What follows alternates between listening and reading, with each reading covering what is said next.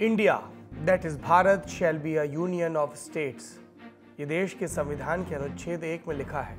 ये देश की परिभाषा है कि एक राष्ट्र के रूप में भारत क्या है। जवाब है, भारत राज्यों का एक संघ है। संविधान का यही वाक्य अब एक बड़े राजनीतिक और संवैधानिक संघर्ष के केंद्र में है। ये संघर्ष है वन नेशन, वन इलेक्शन, यानी एक देश, एक चुनाव का। बहस हो रही है और लेख लिखे जा रहे हैं कि जब एक देश है तो इस देश में एक ही चुनाव क्यों ना हो? मतलब सभी राज्यों के विधानसभा चुनाव और लोकसभा चुनाव क्यों ना एक साथ करा दिए जाएँ? एक ही चुनावी बूथ में दो मशीनें हो, मतदाता एक मशीन से सांसद चुने, दूसरी से विधायक। 11 घंटे की वोटिंग और देश का प्रधानमंत्री तय हो जाए, राज्यों के मुख्यमंत्री भी तय हो जाए। सुनने में प्रक्रिया बहुत आसान है, तुरंत लागू करने लायक लगती है, लेकिन इसे पूरी संजीदगी के साथ समझना होगा, साथ में परखना होगा, देश का इतिहास। ऐसी पुरानी कोशिशें कहाँ जाकर खर्च हुई? आइए इन्हीं सब सवालों के साथ शुरू करते हैं आज का लल्लन टॉप शो। मेरा नाम है Saurabh Dwivedi. One nation, one election की बहस देश के लिए नई नहीं है। पहले भी होती रही है, लेकिन इस समय सत्तासीन भाजपा के सामने एक बड़ा अलायंस है और उसकी ओर से विरोध के स्वर उठने लगे हैं। कैसे उठ रहे विरोध के स्वर? इसके लिए घटनाक्रम समझना होगा। 31 अगस्त 2023 इस दिन केंद्र सरकार ने संसद के विशेष सत्र का आह्वान किया। 18 से 22 सितंबर 2023 तक ये विपक्षियों को चौकन्ना करने वाली जानकारी थी। बिना किसी तैयारी के उन्हें एक संसद सत्र में बैठना था। फिर इसके अगले दिन, यानी 1 सितंबर 2023 को, केंद्र सरकार ने वन नेशन, वन इलेक्शन के लिए एक हाई लेवल कमेटी का गठन किया। कमेटी की अध्यक्षता सौंपी गई पूर्व राष्ट्रपति रामनाथ कोविंद को। और कोविंद के अलावा सात लोग शामिल किए गए। कौन सात लोग? केंद्रीय गृह मंत्री अमित शाह, पूर्व नेता विपक्ष गुलाम नबी आज़ाद, पंद्रहवीं फाइनेंस कमीशन के चेयरमैन रहे एन के सिंह, लोकसभा के पूर्व सेक्रेटरी जनरल सुभाष सी कश्यप, वरिष्ठ वकील हरीश सालवे, पूर्व chief vigilance officer Sanjay Kothari और कांग्रेस नेता अधीर रंजन चौधरी, जिन्होंने अपना नाम वापस ले लिया। इनकी कहानी आगे बताएँगे। आठ लोगों की इस कमेटी में कानून व न्याय मंत्रालय में स्वतंत्र प्रभार के राज्य मंत्री अर्जुन राम मेघवाल को सरकार ने स्पेशल इन्वाइटी तैनात किया। वो इस हाई लेवल कमेटी की मीटिंग में शामिल होंगे। वहीं डिपार्टमेंट ऑफ़ लीगल अफेयर्स से जुड़े भारत सरकार के सेक्रेटरी इस कमेटी के भी सचिव होंगे। कमेटी की घोषणा होने के अगले दिन सरकार द्वारा कमेटी के बाबत गजट पत्र भी जारी कर दिया गया। सदस्यों की घोषणा के साथ जो बातें लिखी गई, उन पर ध्यान देना ज़रूरी है। क्या कहा गया इसमें? साल उन्नीस सौ इक्यावन बावन से लेकर उन्नीस सौ सड़सठ तक देश के लोकसभा चुनाव और राज्यों के विधानसभा चुनाव एक साथ हुए, जिसके बाद ये चक्र टूट गया, जिसके बाद देश में हर साल चुनाव होने लगे और कई बार तो एक साल में कई बार चुनाव होने लगे। इससे सरकार और दूसरे स्टेक होल्डर्स का खर्च बढ़ा। अपने प्राथमिक काम से हटकर चुनाव अधिकारियों और सुरक्षा बलों को लंबे समय तक चुनाव में अपनी भूमिका निभानी पड़ी। साथ ही आदर्श आचार संहिता के बार बार लागू होने से विकास कार्यों में बाधा पहुँची। अब यहाँ पर दो अपवाद सुन लीजिए। अपवाद नहीं, एक अपवाद और एक जो ज़िक्र है। कहा गया कि उन्नीस सौ सड़सठ से ये चक्र टूटा। ये सही नहीं है पूरी तरह से। ये चक्र सबसे पहले टूटा उन्नीस में 1959 में। उस समय केंद्र में जवाहरलाल नेहरू के नेतृत्व में कांग्रेस की सरकार थी। कांग्रेस की अध्यक्ष बनी थी इंदिरा गांधी, जो 11 महीने तक इस पद पर रही। और उन्नीस सौ सत्तावन में केरल में लेफ़्ट पार्टियों की सरकार बनी थी, विधानसभा चुनाव जीतकर, और कहा गया था कि ये दुनिया की पहली लेफ़्ट सरकार है जो चुनाव जीतकर एक लोकतांत्रिक व्यवस्था में सत्ता नशी हुई है। नंबूदरीपाद इसमें बनाए गए थे मुख्यमंत्री। लेकिन इस सरकार को आर्टिकल 356 का इस्तेमाल करके, तीन का इस्तेमाल करके नेहरू सरकार ने उन्नीस सौ उनसठ में 1959 में बर्खास्त कर दिया था, जब इंदिरा अध्यक्ष थी कांग्रेस की। और उसके बाद 1960 में दोबारा चुनाव हुए थे केरल में जिसमें कांग्रेस ने और दूसरे दलों के साथ गठजोड़ करके केरल में सत्ता में वापसी की थी। तो ये राज्यों और केंद्र के चुनाव का क्रम उन्नीस सौ उनसठ से ही टूट गया था, पर बड़े पैमाने पर उन्नीस सौ सड़सठ से टूटा, क्योंकि उन्नीस के चुनाव में कई जगह संवित सरकारें बनी थी, संयुक्त विपक्षी दलों की सरकारें बनी थी, कुछ एक जगह कांग्रेस की भी सरकारें बनी थी, लेकिन इन सब का स्थायित्व तो नहीं था और उसके बाद से ये बात चलती रही। आपने सुना इस गजट में कहा गया कि कई जगह एक ही बरस में चुनाव। ये हमने 2005 में देखा था बिहार में। बिहार में 2005 में दो दफ़ा विधानसभा के चुनाव हुए थे।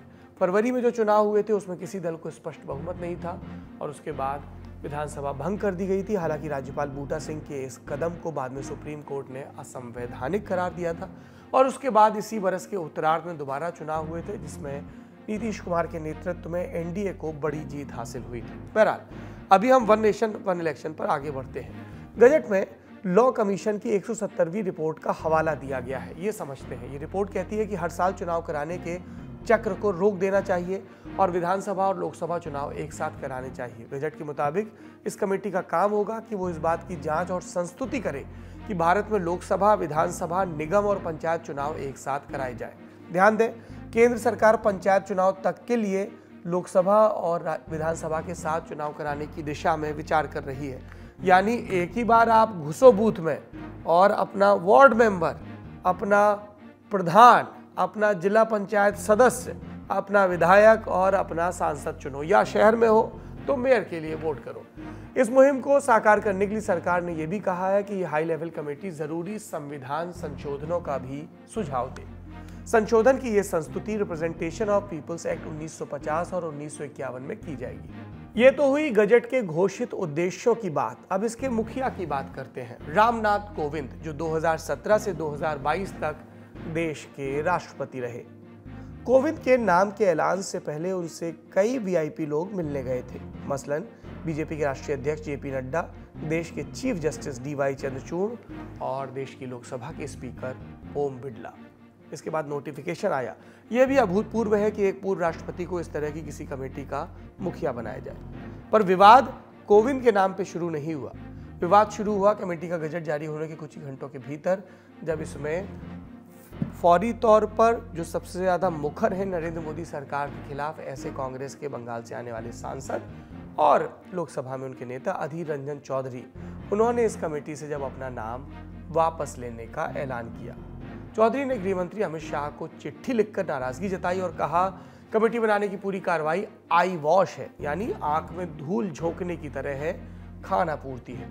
अधीर रंजन चौधरी ने यह भी कहा कि लोकसभा चुनाव के कुछ ही महीनों पहले सरकार का ऐसा कदम सरकार की मंशा पर सवाल उठाता है।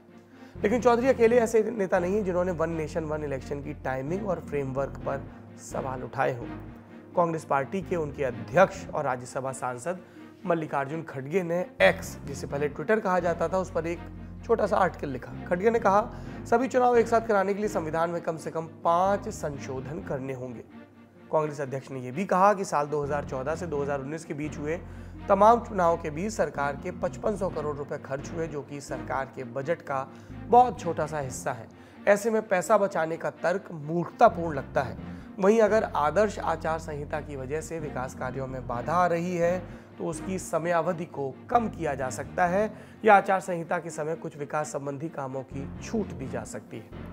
कांग्रेस के बाहर भी, कांग्रेस के जो सहयोगी हैं उसके इंडिया अलायंस के, उन्होंने वन नेशन, वन इलेक्शन को लेकर विरोध के स्वर जताए। डीएमके के अध्यक्ष, तमिलनाडु के मुख्यमंत्री और सनातन धर्म को खत्म कर देना चाहिए कहने वाले उदयनिधि स्टालिन के पिता एम के स्टालिन ने अपने संबोधन में कहा कि भाजपा का वन नेशन, वन इलेक्शन का पुश भारत के संघीय ढांचे के खिलाफ है। वन नेशन, वन इलेक्शन लोकतंत्र की नहीं, बल्कि तानाशाही की रेसिपी है। ये तमिलनाडु के मुख्यमंत्री का बयान है। मुख्यमंत्री का ज़िक्र कर रहे हैं तो अब दिल्ली का रुख करते हैं। अरविंद केजरीवाल, उन्होंने भी केंद्र सरकार पर इस विषय पर निशाना साधा और कहा कि अगर नौ साल तक पीएम रहने के बाद भी नरेंद्र मोदी को वन नेशन, वन इलेक्शन के नाम पर वोट मांगना पड़ रहा है तो इसका मतलब उन्होंने कोई काम नहीं किया। और पीएम मोदी को डर लगता है कि उन्हें हर साल छह महीने में जनता के बीच जाकर चुनाव का सामना करना पड़ता है।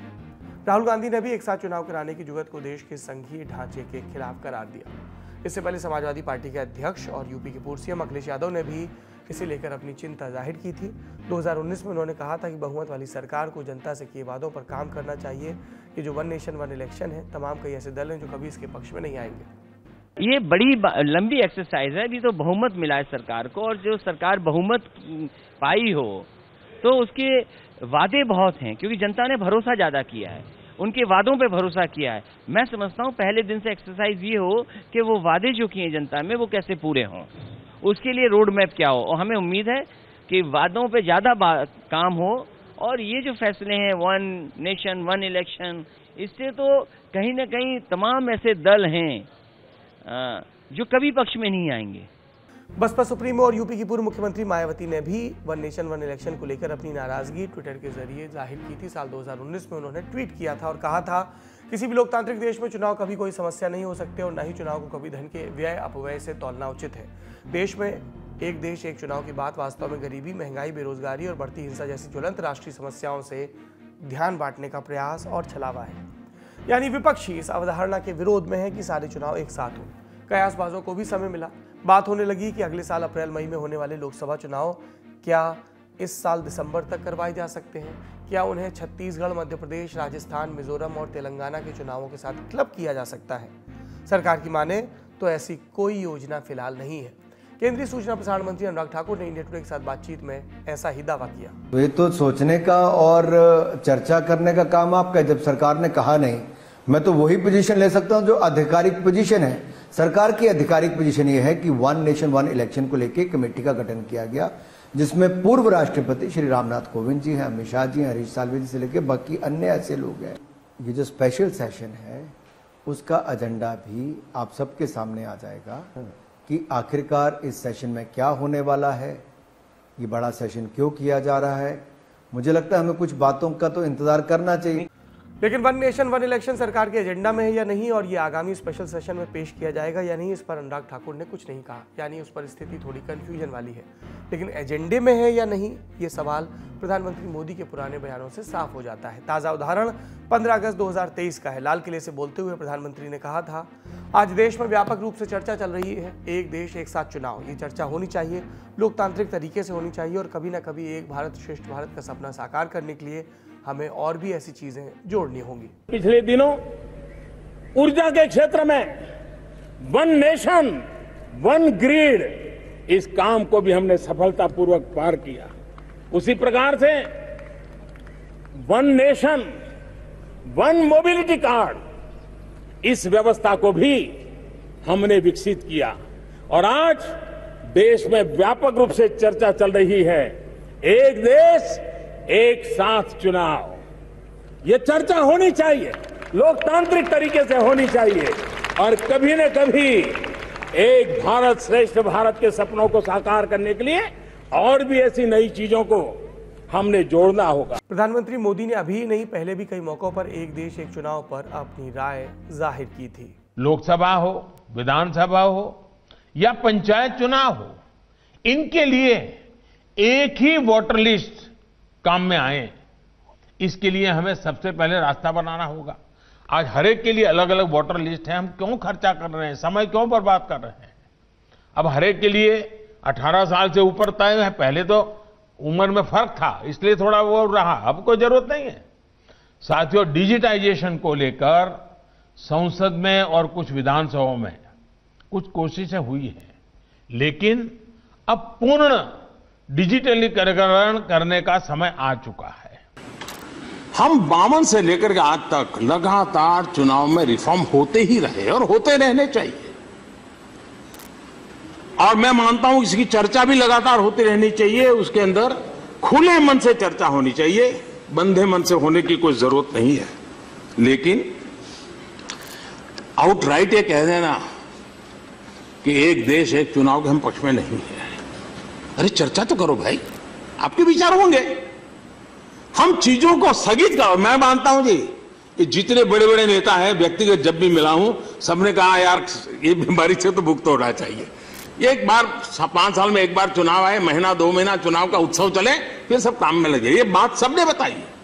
वन नेशन, वन इलेक्शन पर आपने सरकार की हालिया दलीलें सुनी, बयान सुने, और क्या जल्दी चुनाव हो सकते हैं, इसको लेकर भी प्रतिक्रिया सुनी। लेकिन इस विषय पर बात कब से शुरू हुई? एक साथ देश में चुनाव उन्नीस सौ से शुरू हुए थे।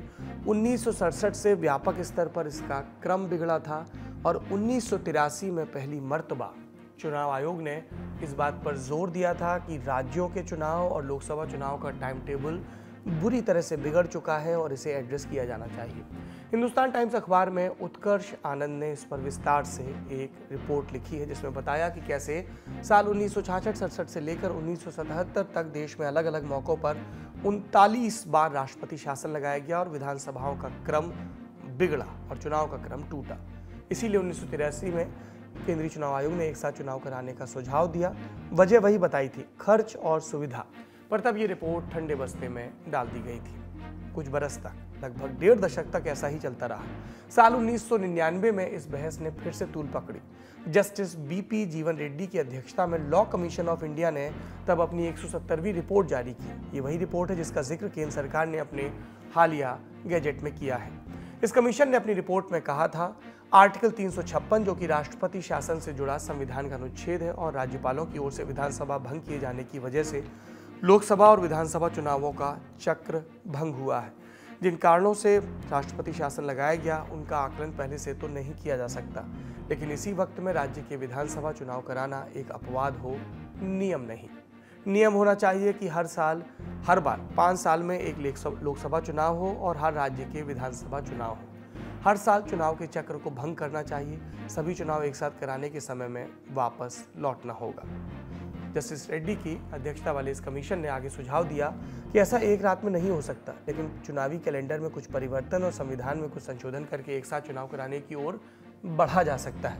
कुछ विधानसभाओं का कार्यकाल बढ़ाने या घटाने पर विचार किया जा सकता है, बशर्ते राज्य सरकारें और पार्टियाँ सहमत हों। लोकसभा और विधानसभा चुनाव साथ कराए जाएँ, लेकिन जब तक विधानसभा का कार्यकाल खत्म ना हो जाए, तब तक उसके नतीजे को गुप्त रखा जाए, ये भी रेड्डी कमीशन की रिपोर्ट में था। उन्नीस से अब आगे बढ़े और आए 2015 में। इस साल एक स्थायी संसदीय समिति ने अपनी उन्यासीवीं रिपोर्ट प्रस्तुत की। इसमें भी कहा गया कि विधानसभा चुनाव और लोकसभा चुनाव साथ कराए जाएँ तो खर्च बहुत कम किया जा सकता है। साथ ही सेवाओं में आदर्श आचार संहिता की वजह से जो दिक्कत आती है, उससे बचा जा सकता है। अब दो बरस आगे आते हैं 2017 नीति आयोग एक पेपर पब्लिश करता है analysis analysis of simultaneous elections the what why and how इसमें भी बारह हो रहे चुनावों के बारे में, उन्हीं दो सूचकांकों पर बात की गई, खर्च और आदर्श आचार संहिता। साथ ही कहा गया कि परमानेंट चुनावी मोड से बाहर आकर एक बड़ा बदलाव होगा, जिससे सरकारों के पास अगले चुनाव की चिंता किए बगैर काम करने का वक्त होगा। फिर 2018 में लॉ कमीशन ने एक ड्राफ्ट रिपोर्ट पब्लिश की। इस बार अध्यक्षता की सुप्रीम कोर्ट के पूर्व जज बी एस चौहान ने अपनी ड्राफ्ट रिपोर्ट में इस कमीशन ने क्या कहा?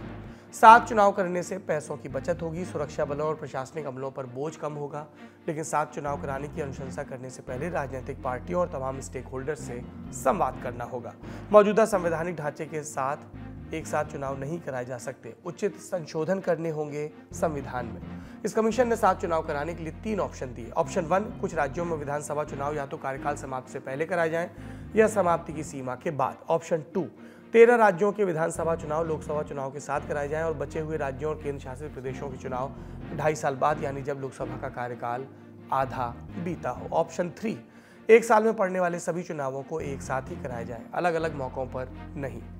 साल 2022 में लॉ कमीशन ने भी 2018 की इस ड्राफ्ट रिपोर्ट का हवाला दिया और कहा कि एक साथ चुनाव कराना हर तरीके से आदर्श है।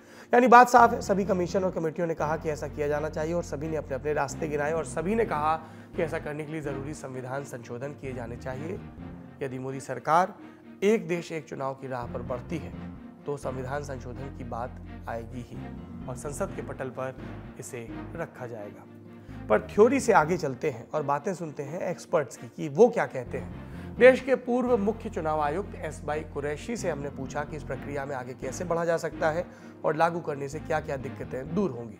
नहीं, अगर ये, इस पे फैसला हो ही जाए कि कराना है तो इन प्रिंसिपल बड़ा सिंपल है कि देखिए वोटर वही है, जहाँ पे पोलिंग स्टेशन होता है, वो वही है। उसको कराने वाले लोग जो है डिस्ट्रिक्ट एडमिनिस्ट्रेशन वो भी कॉमन है, तीनों इलेक्शन के लिए। और सिक्योरिटी जो ऑपरेटर्स होता है, वो भी, वो कॉमन है तो एक दफ़ा बूथ बना दिया, उनको सिक्योर कर दिया और आप जाके वोट देते हैं। एक इलेक्शन है तो एक मशीन पे बटन दबाते हैं। तीन इलेक्शन होंगे तो तीन मशीनें रखी होंगी, तीन जगह बटन दबा देंगे। तो उस लिहाज से लॉजिस्टिकली तो एज सिंपल एज दैट एक ही एक चीज़ इसकी में जो ज़रूरत पड़ेगी कि जो, अभी जो ईवीएम है वो हम रिसाइकिल करते हैं। यानी लोकसभा में यूज़ कर ली, वो खत्म हो गया, उसके बाद उसको इरेज करके विधानसभा में उन्हीं मशीनों को लेके पहुँच गए। तो लेकिन अगर जब विधानसभा लोकसभा और पंचायत एक साथ ही हो रहे होंगे तो हम रिसाइकिल मशीनों को नहीं कर पाएँगे। तीनों मशीनें एक मौजूद होनी चाहिए। यानी, तीन गुना मशीनें चाहिए। अभी बीस लाख अगर मशीनें हैं तो पचास साठ मशीन लाख मशीनें तो अब उसको बनाने में जो टाइम लगा पैसा तो भूल जाइए पैसा तो आ, इतना ज़्यादा नहीं है। पाँच दस हज़ार करोड़ होगा बीस भी होगा वो इतनी बड़ी डेमोक्रेसी कोई नहीं। लेकिन आ, आ, उसको डेमोक्रेसी का ठीक करना वो इम्पोर्टेंट चीज़ है। फ़ायदे तो एक तो मैंने ये बताया कि भाई इलेक्टोरल कन्वीनियंस तो यही है कि भाई आप उसको एक बार कर दीजिए एक बार वोटर आके चला जाएगा। लेकिन दूसरी चीज़ ये कि जो खर्चा बहुत होता है। तीसरी चीज़ ये कि सारा काम ठप हो जाता है। यही तो तीन एतराजात किए जाते ना। तो इन तीन, तीनों एतराज़ या ऑब्जेक्शन है, उसको हम डिस्कस कर लेते सबसे पहले तो खर्चा। इलेक्शन मैनेजमेंट में तो अगर एक ही इलेक्शन होता है, जनरल इलेक्शन लीजिए तो तकरीबन चार हज़ार के करोड़ के करीब है। चार हज़ार करोड़ तो इतना मामूली से रकम है उसमें तो कोई डिबेट करने की जो उसको घटा के हम तीन कर देंगे, तीन हज़ार कर देंगे। वो तो फजूल बात है largest democracy of the world ये तो खर्चा तो कोई शुई नहीं है। यानी कानूनी कमीशन ने कहा है कि इसे लागू करना चाहिए, लेकिन एक मतदाता के अधिकार भी है। कमीशन ने क्या इस पर कोई सुनवाई की, इस पर कोई बात की? देश जहाँ मतदाता के अधिकार सतत प्रयोग में रहते हैं, अपनी पंचायत से लेकर अपने प्रधानमंत्री तक वो चुनता है। लगातार चुने प्रतिनिधियों की रपट लेता है, क्या होगा जब उसे अपने पार्षद के साथ अपने सांसद को चुनना होगा? उसके खाटी क्षेत्रीय मुद्दे कितने मज़बूत रहेंगे? हमने Rajiv Gandhi National University of Law, Patiala में कानून के छात्र कार्तिकेय सिंह से, जो लगातार इस पर आर्टिकल लिख रहे हैं, बात की। मुद्दों पे इस पे बिल्कुल खतरा आएगा, क्योंकि अगर हम एग्ज़ाम्पल देखें, अगर हम नेशनल इशू की बात करते हैं जैसा कि हम जानते हैं नेशनल मुद्दे और जो लोकल मुद्दे होते हैं, वो बिल्कुल अलग होते हैं। जैसा कि आपने बताया कि पंचायत के चुनाव लोकल मुद्दों पे लड़े जाते हैं, वैसे ही विधानसभा के चुनाव भी लोकल मुद्दों पे लड़े जाते हैं। और नेशनल इश्यूज़ की अगर हम बात करें कि बालाकोट स्ट्राइक हुई या फिर ऐसे ही कोई नेशनल मुद्दे जो कि रीजनल मुद्दों को दबा सकते हैं, जिनकी वजह से नेशनल, जिनकी वजह से रीजनल इश्यूज़ पे ध्यान नहीं दिया जाएगा। और एक और चीज़ मैं आपको बताना चाहूँ, अगर किसी डेमोक्रेसी को हेल्दी डेमोक्रेसी में मेंटेन करके रखना है। तो उसमें वोटर की वॉइसेस को आपको पीरियोडिकली सुनना पड़ेगा। अगर आप एक ऐसी व्यवस्था बनाएँगे जिसमें कि आप हर एक पाँच साल में ही वोटर्स और पॉलिटिशियंस के बीच में इंटरेक्शन कराते हैं तो फिर आपको ये प्रॉब्लम आएगी कि पॉलिटिशियंस की अकाउंटेबिलिटी कम हो जाएगी वहाँ पे। तो अभी का जो फ्रेमवर्क है, जहाँ पे कि रेकरेंट इलेक्शंस होते हैं, ये इंश्योर करता है कि वोटर्स और पॉलिटिशियंस के बीच में आपस में बातचीत हमेशा बनी रहे, जो कि पीरियोडिकली चलती रहे, जिससे कि वोटर्स के प्रति पॉलिटिशियंस एक अकाउंटेबल तरीके से बिहेव कर सकें। इसके पक्ष में तर्क देने वाले कह रहे हैं कि खर्च कम होगा आचार संहिता की वजह से विकास कार्य नहीं रुकेंगे। विरोधी कह रहे हैं वन नेशन वन इलेक्शन संघीय ढांचे के खिलाफ है। क्योंकि संविधान में लिखा है कि भारत राज्यों का संघ है। क्या इस गतिरोध में संविधान के चोटिल होने की गुंजाइश है? पत्रकार और लेखक, भारतीय संविधान एक अनकही दास्तान के। सुनिए राम बहादुर राय को। पक्ष, मैंने पहले भी कहा कि कुतर्क कर रहा है और संविधान की नासमझी उनके इस कथन से व्यक्त हो रही है। क्योंकि संविधान जो भारत भारत के संविधान को जिसने भी पढ़ा है जो भी थोड़ा बहुत समझते हैं, वे जानते हैं कि भारत का संविधान एकात्मक है, संघात्मक नहीं है। संघात्मक है अमेरिका का संविधान। लेकिन भारत का संविधान तो राज्यों का संघ नहीं है। उन्नीस से पहले जब भारत का विभाजन नहीं हुआ था, उस समय ज़रूर संविधान संघात्मक बनाने की बात थी। उसकी कुछ छाया इस संविधान पर है, लेकिन व्यवहार में भी और अवधारणा में भी। भारत का संविधान मूलतः एकात्मक संविधान है और 25 नवंबर उन्नीस सौ उनचास को जो डॉक्टर अंबेडकर ने अपने भाषण में समझाया है, वो यही समझाया है। तो ये राज्यों की जो सूची है, एक समयवर्ती सूची है और एक केंद्र की सूची है, जिसे संघ की सूची कहा गया है। लेकिन अगर यह संघात्मक संविधान होता तो राज्यों की सूची और समवर्ती सूची, दोनों हमारे हमारा संविधान ये केंद्र को अधिकार देता है कि राज्य के विषय में भी वो कानून बना सकते हैं। समवर्ती सूची के विषय में भी कानून बना सकते हैं। अगर उसकी ज़रूरत हो तो। तो ये केंद्र के विवेक पर निर्भर करता है। या कहना चाहिए कि नेतृत्व के विवेक पर निर्भर करता है, जो उस समय देश का शासन चला रहा है नेतृत्व कर रहा है। अगर संघात्मक होता तो 370 को हटा करके और जम्मू कश्मीर को, का पुनर्गठन नहीं किया जा सकता था। अगर संघात्मक होता तो जो राज्य पुनर्गठन आयोग बनाया पंडित जवाहरलाल नेहरू ने, वो अवैध हो जाता असंवैधानिक हो जाता लेकिन उन्होंने 1955-56 में राज्य पुनर्गठन आयोग बनाया और उस आयोग को सारे देश ने माना, उस आयोग के फैसले को और राज्यों का पुनर्गठन हुआ। तो ऐसे सैकड़ों उदाहरण दिए जा सकते हैं। मूल बात यह है कि यह कहना कि भारत का संख्य संविधान की इससे अवहेलना होगी। ये जो लोग भी कह रहे हैं, वो संविधान को न जानते हैं, न उन्होंने पढ़ा है। हाँ वो नारे लगा रहे हैं और नारा और संविधान अलग अलग चीज़ है।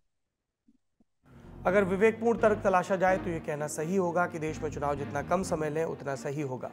सरकारी स्कूलों और ऑफ़िस के कर्मचारी चुनाव ड्यूटी में कुछ दिनों पर खपेंगे नहीं, संसाधन नहीं खपेंगे, सीमित संसाधनों में बहुत सारे काम कराए जा सकेंगे। लेकिन अगर ये बात सही है कि पार्टियाँ अपनी सरकार पर संकट देखकर एक साथ चुनाव, चुनावी खर्च की चिंताएँ पालती हैं, विपक्ष को डिरेल करने की कोशिश में विरोध या समर्थन की भाषा चुनती हैं तो भी सही शनाख्त ज़रूरी है कि लोकतंत्र का हितैषी है कौन? दावे तो सब कर रहे हैं। जवाब मिलने तक हम उम्मीद की बात के साथ आपको छोड़ जाते हैं। एक छोटी सी कहानी, दो वीडियो की कहानी। दोनों वीडियो में एक ही संदेश है कि अच्छा करेंगे तो अच्छा होगा। पहला वीडियो यूपी के शहर मिर्ज़ापुर से है। सरकार समय समय पर जो अपने ट्रांसफ़र पोस्टिंग करती, वैसे यहाँ भी हुई योगी सरकार की। इस लिस्ट में नाम आया दिव्या मित्तल का। आईएएस अधिकारी हैं, कलेक्टर थी मिर्ज़ापुर की। अब उन्हें बस्ती का डीएम बना दिया गया। मिर्ज़ापुर से जाना था, विदाई समारोह था और फूलों से नहला दिया गया। अधिकारियों के प्रति जनता का ऐसा स्नेह देखकर लगता है कि कई लोग हैं जो मेहनत से काम कर रहे हैं। मेहनत से याद आया आज का दूसरा वीडियो। ऋषभ पंत एक एक्सीडेंट में, कार एक्सीडेंट में चोटिल हो गए थे। उन्होंने अपना ये वीडियो आज रिलीज़ किया है, जिससे दिख रहा है कि वो शनह शनह अपनी फिटनेस की तरफ़ लौट रहे हैं। खिलाड़ियों की फिटनेस, देश की फिटनेस। इस पर चर्चा होती रहेगी आपके ललन टॉप शो में। आज के शो में इतना ही। अपना और अपनों का ख्याल रखिए। शुभ रात्रि